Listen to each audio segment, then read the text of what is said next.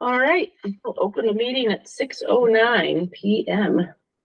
Um, do we have a quorum? You do, Michael's on screen. Okay, Just make sure you go to him for votes. yes, okay. Um, review and approve minutes from September fourteenth, twenty twenty-three. Any comments or can I have a motion to accept? I'll make a motion to accept. the minutes from last week. Okay, I'll second it. all right, all in favor? Aye. Aye. And it's, and on to financial statements.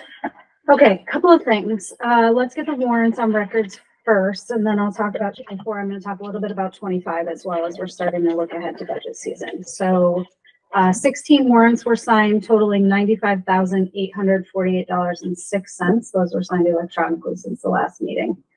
Uh, I did send you out the expense reports. I wanted to just touch on a couple of lines to give you some updates on a few things overall, there's no concerns about not meeting the budget, but we definitely have some overages that are true overages at this point that we'll have to move funds from another line. So again, not concerned about it, but just want to give you a little bits of explanation. So there's some things in the business office. Um, some of our accounting staff, the wages are a little bit higher than we budgeted. Uh, our software fees increased because we upgraded the system last year. Um, what did I make a note about here? Um, the teacher lines, uh, cumulatively are over by like twenty-five hundred dollars. That is actual overage there. Uh, OT, same thing. I think the occupational therapy line will work itself out because we have somebody on an LOA. So currently there's the sub salaries in there and the teacher salaries. So I think that that'll work out fine in the wash in the end. Um, summer school stipends, that's on page three of the report. We did go over for summer staffing this year, so that's a five thousand dollar overage. So if you look at all the little lines, they probably add up to about ten thousand dollars. Again, not worried about it. The unfortunate part is that it means at the end of the year, when we do all of that, you know, free cash spending, there'll be less available.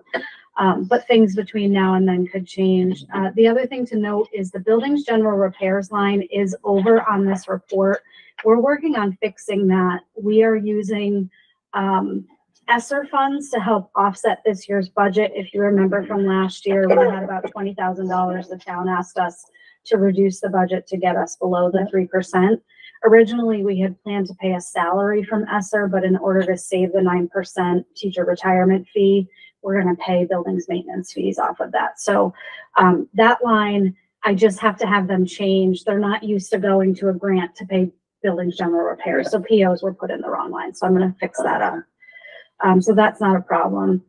The other thing I wanted to bring your attention for twenty-four is that transportation for special education is up. It's up district-wide.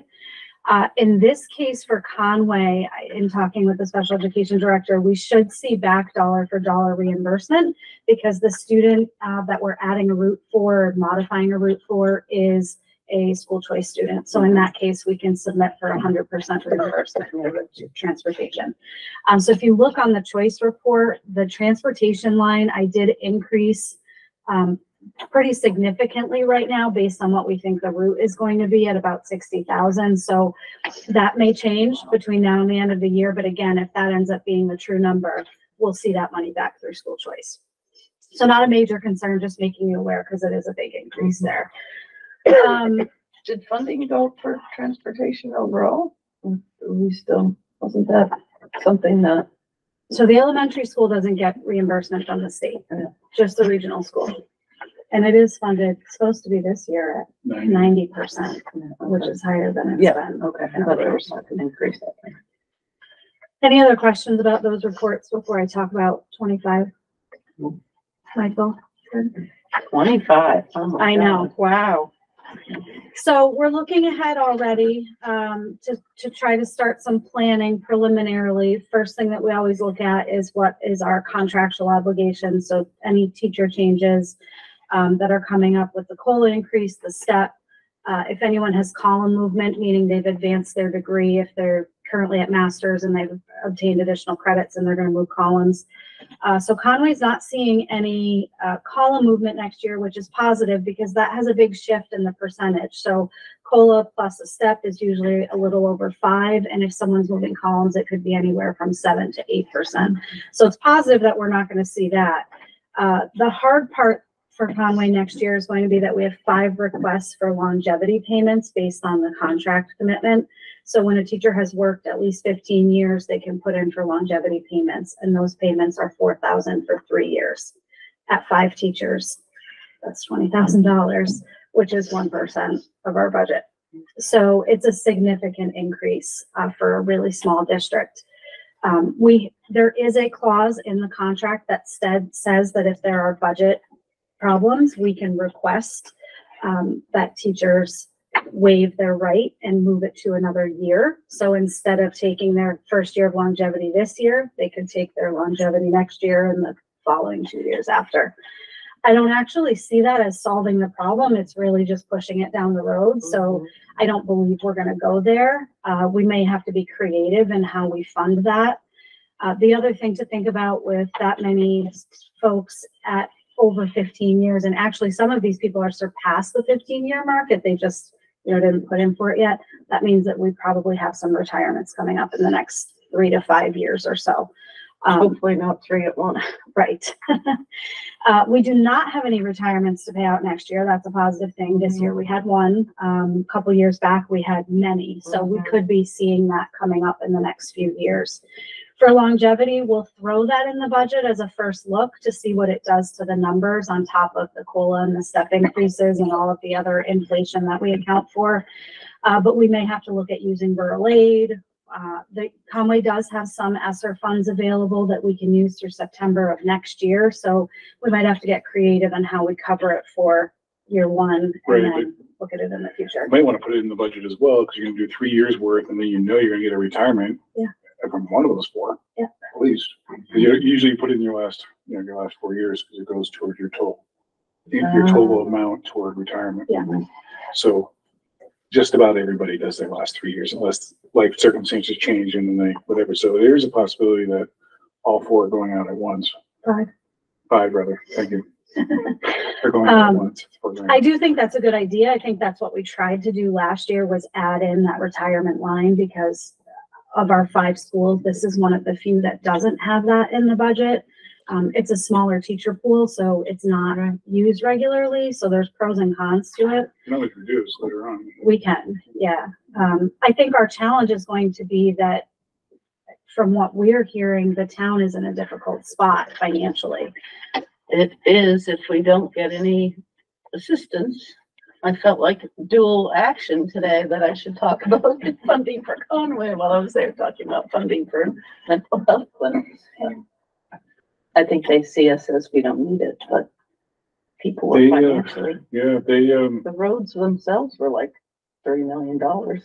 Deerfield's going, has a special town meeting on next Monday. They're trying to get a a five million dollar bond to pay for theirs, so they don't think they're getting the money.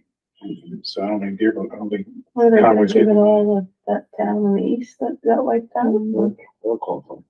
Yeah, so I'm just saying, like, that's not good. It's not, the other towns are trying to take loans out to pay for it. But you're right, we might have to move though. We may have to come in very close to level, Right. I think we're gonna have to do our Right. best this year. I mean, that's, or we, um, maybe use ESSER and we'll talk about it when we get the numbers in front of us, but we do have some, some ESSER and we have some rural aid. Rural aid numbers came out today, by the way. We've been saying that they, they haven't come out yet, so Conway's receiving twenty-six thousand in rural aid. Um, which is a little bit less than what You they thought you were gonna be 30 estimated. You thought you were gonna be thirty-two, I think. or Yeah. Thirty, forget, whatever the number is, it's down about couple a thousand. couple thousand each school. But it's more than last, this current year, we're only receiving fourteen thousand, so we're headed in the right direction. Um, so that's a positive thing, and it will help take care of, you know, some of these. We pick and choose what pot we're paying what. from, Right. But let's see what all the pots are during budget season. right. So there's a lot more to talk about. I just wanted to put it on the radar because it is a pretty significant circumstance where it does have a big impact on the budget, so. Yeah, definitely. Seems to make sense to have it in the budget and not and then do stuff later that we have, Right. but especially anticipating that they're gonna all be on the same timeline. Right, I mean, we have the one grace year with ESSER though this year, so we can help the town by using ESSER on, Right. you know, budget if that's what, you know, if that's what the town is, but I think it's patient this time, right now, we're trying to, our game plan here is to give you information along the way, so it doesn't just become a January meeting, you're like, and there's a what, and there's a what, it's just kind of like, okay, Right.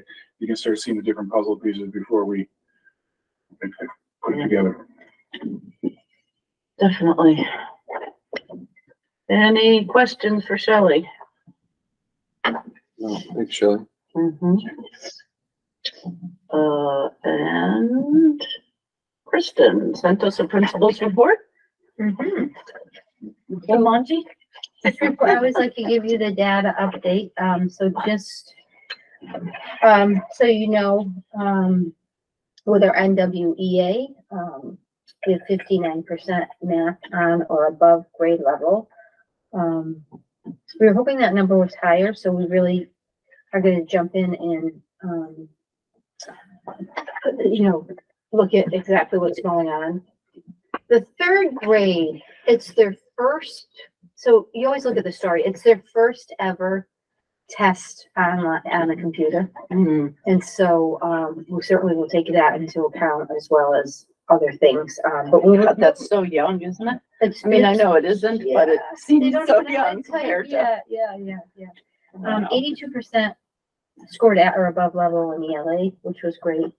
Um, and now we're gonna be looking at, we have an instructional leadership team, grade level meetings that we're gonna be looking at, um, our formal and informal assessments and s- specific subgroups. So we look at attendance, we look at students who are requiring behavioral support, students who see the school psychologist, students who are, um, often seeing the school nurse, uh, students on individualized education plans or five oh four plans, students and family income, to see where we might see some subgroups falling, or in the past many years, we've had, um, where our subgroups of students on IEPs for five oh four and low income, uh, categories were actually performing at the same level as, um, we, I hate using the word typical, but what a child without any of those um, challenges have. So that, that's been great. I think we've seen a dip. Um, we're seeing a dip this year, so we're gonna really look closely at that.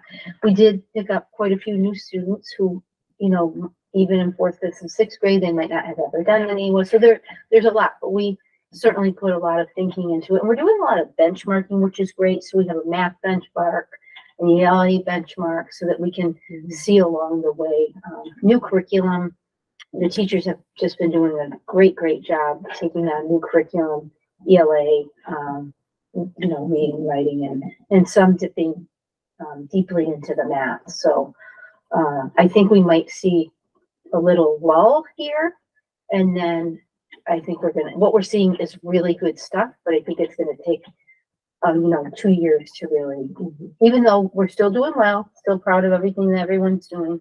We had a visit with Jennifer Lee. I don't know if anyone saw that in the Greenfield Recorder. That was fabulous, working on our next visitors. Visitor, we're gonna continue with Monte's March this year. Monte will be coming at the end of October to speak. The students really, really love, uh, Monte's March. I want to just update you on a new special education, um, uh, I'm such a, I'm not lost for words today.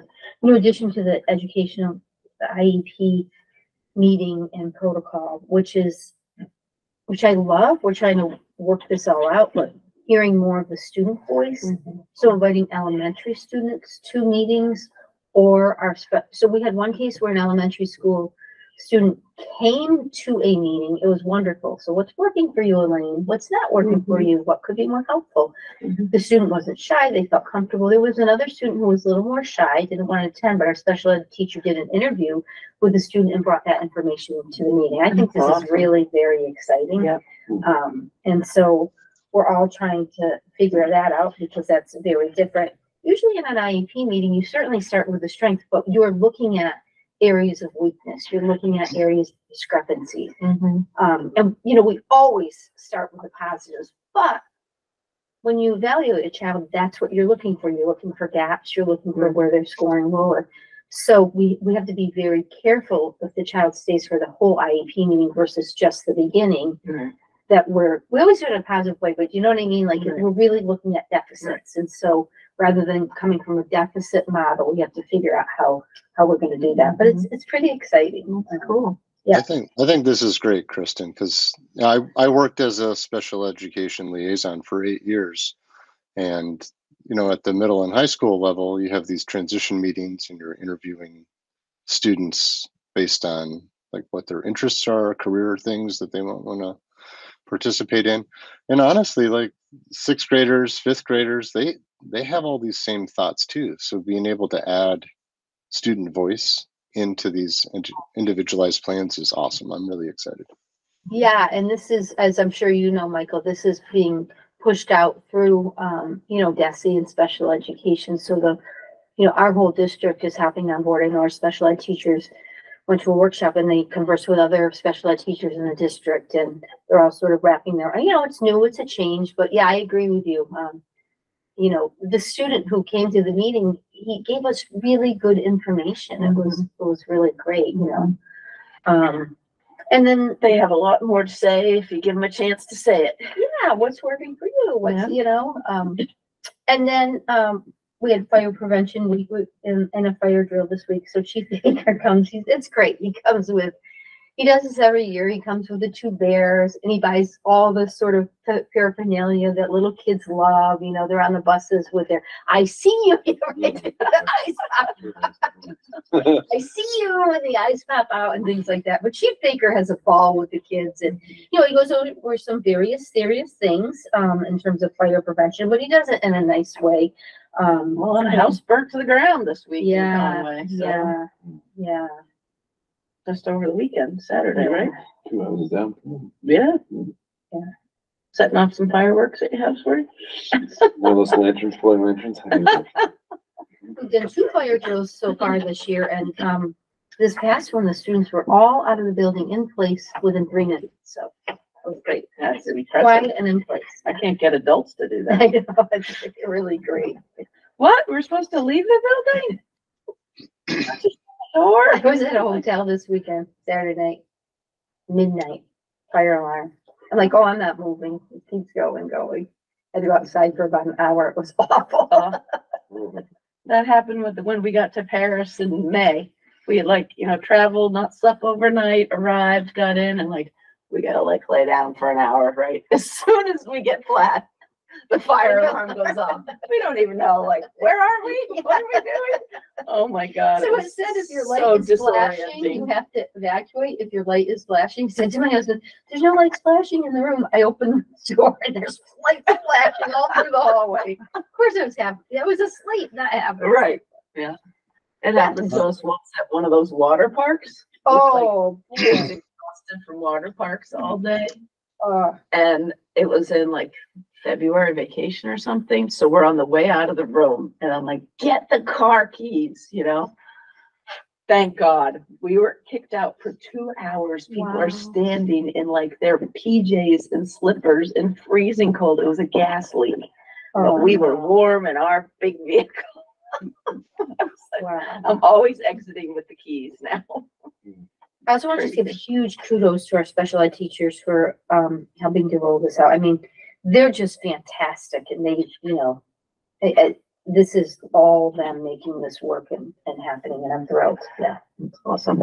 It's great. Um, and I'm excited to hear Monte's coming one more time. Um, I'm, I don't know if you've, if- if you've heard his, uh, podcast, the fabulous four one three on NEPR, NEPM, but, um, he's, uh, he's just doing amazing work. And, uh, so the fact that Conway Grammar School gets to be a part of that is, is awesome. Yeah, we're so excited. Yeah. That's great. Awesome. Any other questions for Kristen? Thank you, Kristen.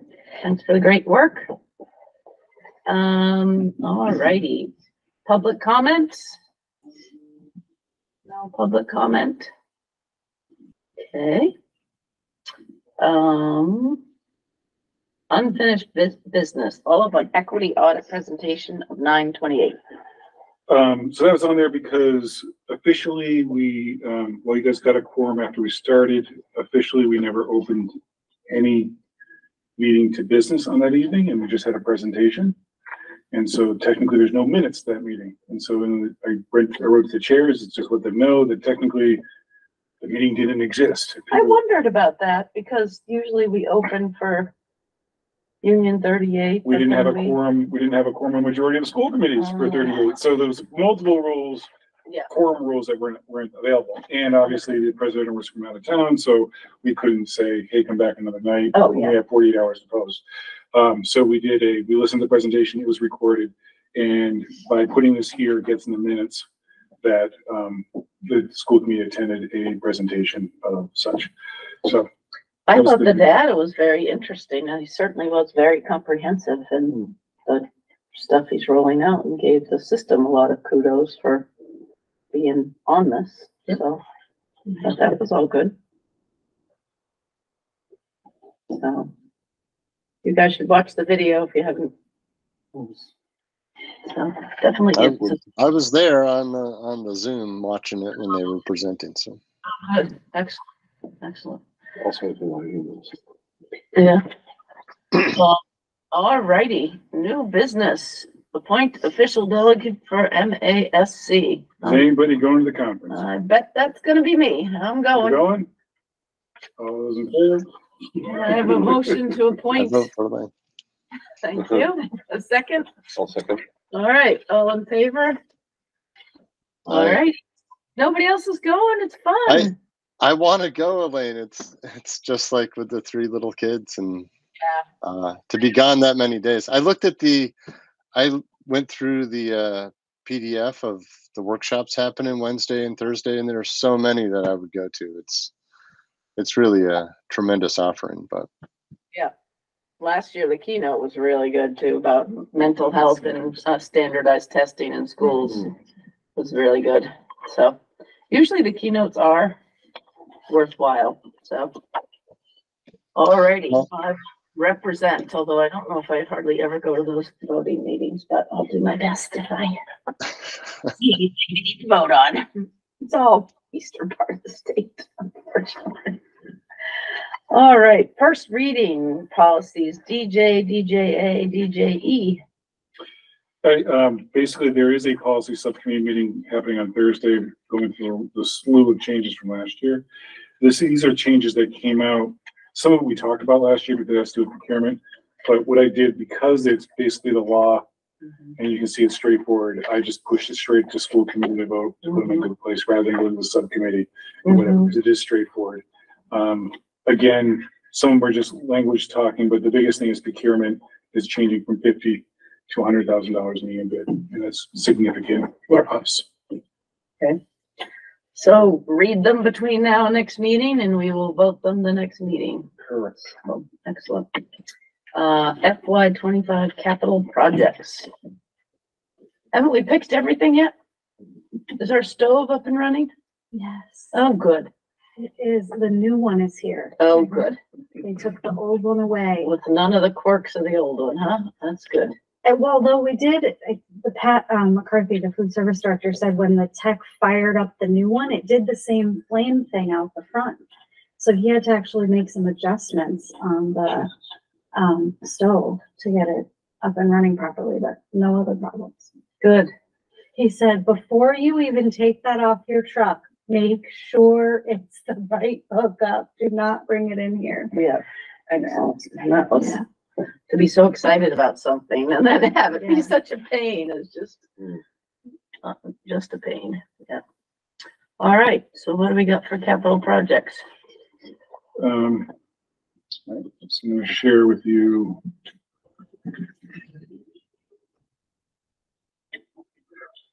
All right, so.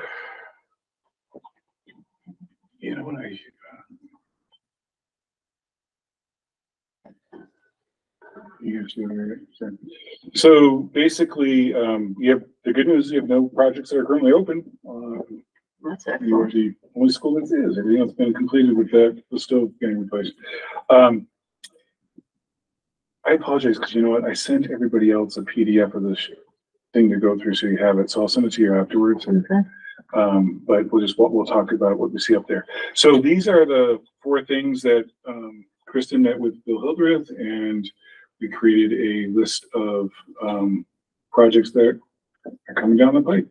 Um, again, this might be something where there may not be a lot of money this year, as we've already talked about.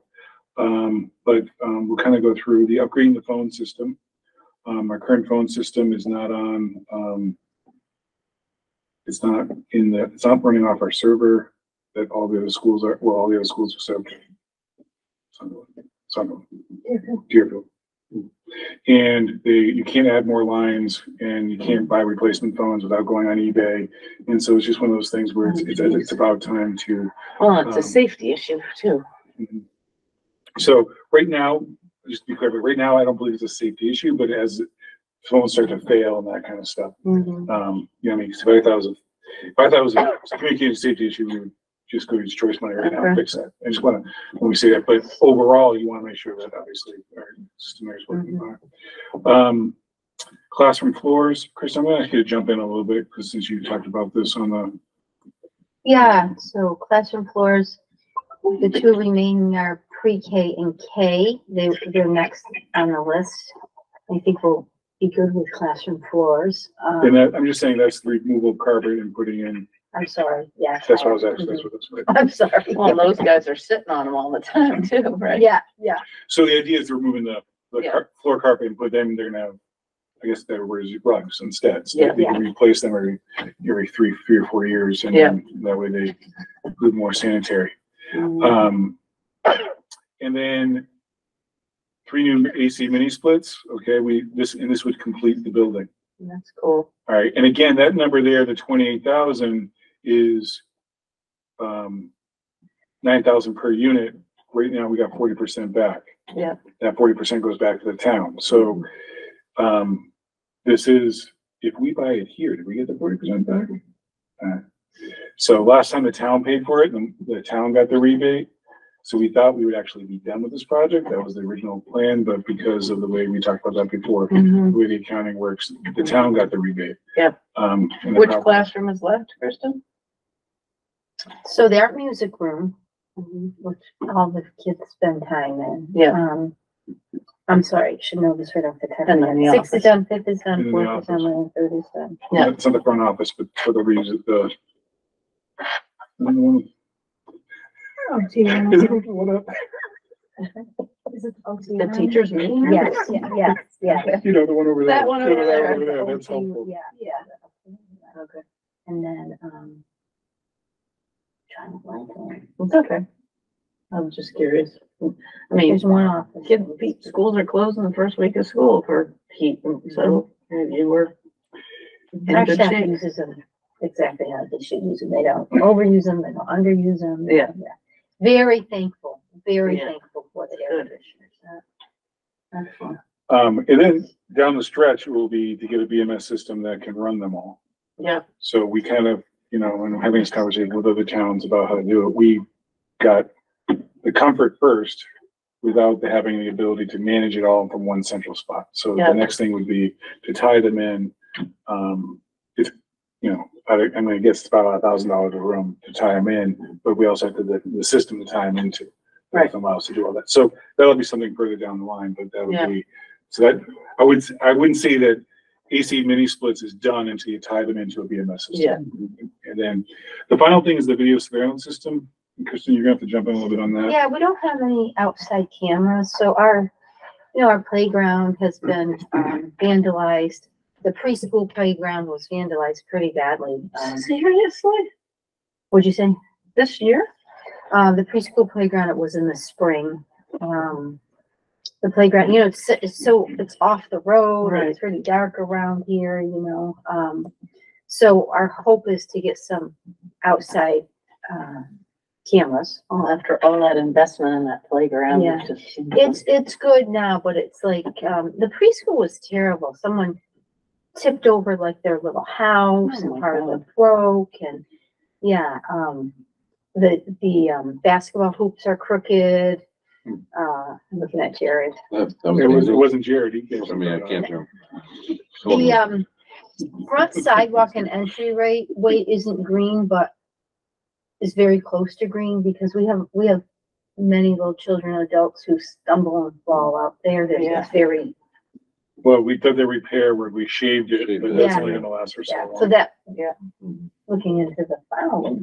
Yeah. Well, it's really the question is what can we, so, you know, we have our own reserve, Right, you know, but, um, the town won't be putting money, I imagine, this year back into it. right, So I think we just gonna, you know, again, this is the beginning of the conversation. right, If we have to go to the town, we have to get on their capital committee, their capital list. right. Um, again, I think we gotta kind of have to be strategic about, you know, what we, we probably want to do some projects, keep things moving forward. We want Definitely. to also be probably conservative this year. Yeah.